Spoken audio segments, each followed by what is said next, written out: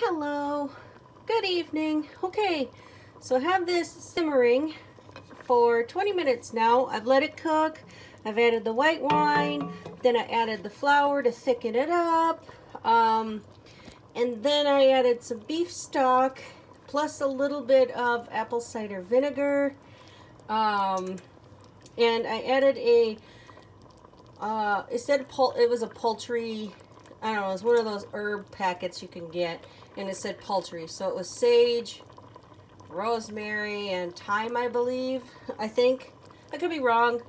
Uh, but anyway, I tied that up with some string and I put that in there. So now I've got to let this sit for um, 20 minutes and it should be done by then.